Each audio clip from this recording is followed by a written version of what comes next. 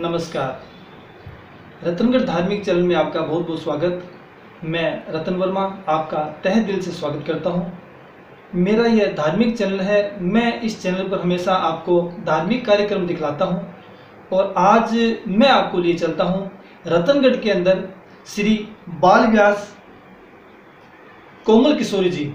बाल व्यास कोमल किशोरी जी से हम दो बात करके आपको बताते हैं कि धर्म के बारे में इनको कितना ज़्यादा ज्ञान है और ये अपने मधुर वाणी से कितने सुंदर सुंदर प्रवचन करते हैं।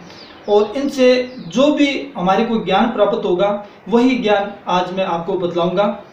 क्योंकि मेरा ये धार्मिक चैनल है, इस इस चैनल पर मैं हमेशा धार्मिक ही कार्यक्रम दिखाने की आपको कोशिश करता हूँ। और मैं ये चाहता हूँ कि जितना ज़्यादा हो सके मैं आपको जितने भी धर्म के जो भी कार्यक्रम है वो आपको इस चैनल पर दिखलाता रहूँ। और आज हम पहुँच रहे हैं श्री बाल व्यास कोमल किशोरी जी से। अभी एक मुलाकात करके आपको थोड़ा सा इनके बारे में जो भी बातें हैं या इनका जो भी ज्ञान है वो मैं आपको बताता हूँ। मैं एक बार इनको नमस्कार करता हूँ कोमल किशोर जी से। नमस्कार जी। सुंदर प्रवचन देते हैं और कथा भी करते हैं। तो आज मैं इनसे पहला सवाल इनसे पूछूँगा। कि भागवत का अर्थ क्या है? आप हमें थोड़ा हमारे जो दर्शक है हज़ारों दर्शक अभी ये आने वाले समय के अंदर आपके इस कार्यक्रम को देखेंगे। तो आप जरा अपने मधुर वाणी से उनको ये बतलाइए कि भागवत का अर्थ क्या है। देखिए सबसे पहले तो मैं आपके YouTube के सभी श्रोताओं को दर्शकों को मेरी ओर से राधे राधे कहना चाहूँगी। बहुत बहुत धन्यवाद जी आपका। उसके बाद मैं बताना चाहूँगी कि भागवत जो है उसका पूरा नाम है श्रीमद् भागवत महापुराण। ये वेद व्यास जी द्वारा रचित है। हाँ जी। आपने पूछा भागवत जी का अर्थ। हाँ जी। तो भागवत का साधारण अर्थ है ये चार शब्दों से बना भागवत। हाँ जी। भय माने भक्ति गय माने ज्ञान वे माने वैराग्य और ते माने त्याग।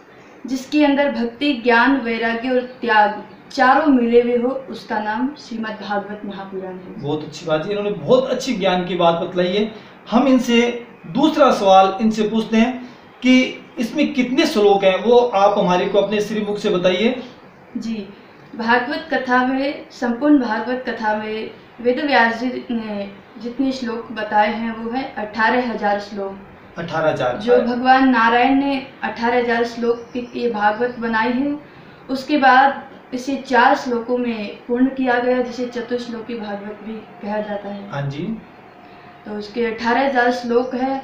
नारद जी ने ये वेद व्यास जी को सुनाए थे और ब्रह्मा जी ने ये नारद जी को सुनाए थे और नारायण भगवान ने ये जो भागवत है ब्रह्मा जी को सुनाई। इसी प्रकार ये भागवत जो है परम श्रद्धे श्री सुखदेव मुनि ने राजा परीक्षित को हरिद्वार में गंगा के तट पे सुनाई थी। अच्छा जी।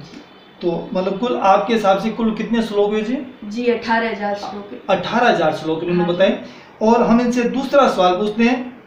कि भक्ति कितने प्रकार की होती है? कि देखो ये बड़े छोटे से नन्हे से हैं बच्ची है। आप बहुत छोटी बच्ची है। देखो आपको अपने मुख से कितनी सुंदर बातें बता रही बहुत छोटी बच्ची है। क्योंकि नाम भी वैसे इनका बाल व्यास किशोरी जी है। बहुत छोटी बच्ची है। और देखो ये बताते हैं कि भक्ति कितने प्रकार की होती है? अपने श्रीमुख से बताएँगे। जी। हम्म। भक्ति का वर्णन तो भागवत में भी आता है कि भक्ति कितने प्रकार की है। प्रहलाद चरित्र में प्रहलाद जी जो है अपने पिता हिरण्य हिरण्यकशिपु जी से वर्णन करते हैं कि जब पिताजी पूछते हैं कि पुत्र तुम्हारे भगवान कहाँ है हाँ जी। तो प्रहलाद जी बताते हैं कि पिताजी सृष्टि में ऐसा कोई कण नहीं जहाँ मेरे भगवान नहीं हो। भगवान नहीं हाँ जी। अच्छा तो तुम्हारे भगवान यदि सब जगह है तो तुम्हारे भगवान मुझे क्यों नहीं दिखते? देखो मेरे ये जैसे जैसे बता रहे हैं मेरे रोंगटे खड़े हो रहे हैं वास्तव में इनकी बात में बहुत ज़्यादा दम है भगवान की बातों में हाँ जी। तो बताते हैं प्रहलाद जी महाराज कहते पिताजी भगवान कैसे दिखते हैं? भगवान को देखने के लिए दृष्टि होनी चाहिए। अभी आपने माया की दृष्टि है। जिस दिन आपकी आँखें भक्ति से सराबोर हो जाएगी यानी कि जब आप भक्ति की दृष्टि से देखोगे तो वही भगवान जो मुझे दिखता है वो आपको भी दिखेगा। अच्छा तो उस भगवान की आपने पूछा भक्ति कितनी है? हाँ जी ये कितनी प्रकार की होती है? हाँ जी। भक्ति तो भाव के अनुसार जैसे भी हम करें भक्ति के अनेकों प्रकार है लेकिन शास्त्रों में जो वर्णन आता है उसके अनुसार भक्ति नौ प्रकार की है। हाँ जी।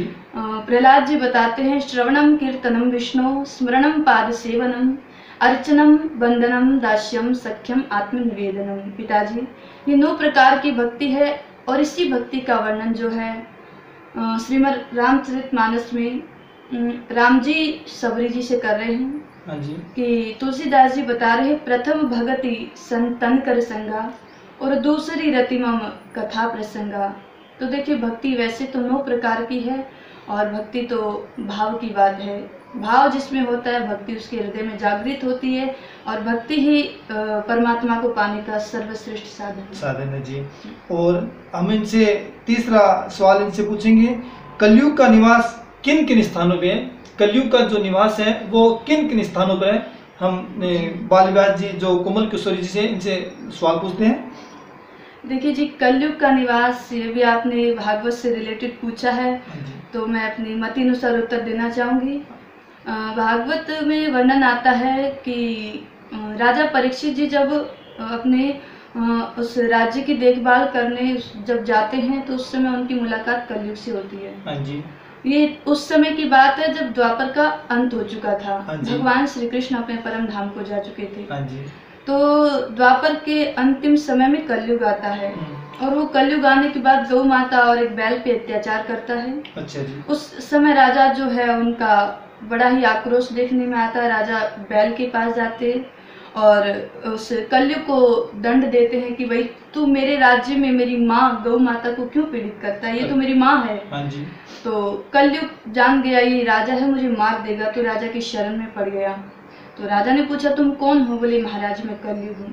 कलयुग और तुम मेरे राज्य में हम्म, गौ उससे पूछा गौ माता से आप कौन है? उन्होंने उत्तर दिया जी मैं पृथ्वी हूँ। हाँ बैल से पूछा आप कौन है? तो उन्होंने कहा जी मैं धर्म हूँ। हाँ और ये कलयुग आ चुका है तो धर्म जो था उसके तीन चरण कट चुके थे। ये कलयुग चौथा चरण काटने में लगा है। हाँ तो पूछा कि कलयुग से कहा तू यहाँ से भाग जा कलयुग ने कहा हे देव इस सृष्टि पर आपका ही राज्य है। मैं कहाँ पे जाऊँ? तो राजा परीक्षित ने उस समय उन्हें चार स्थान दिए जो मैं आपको बताती हूँ।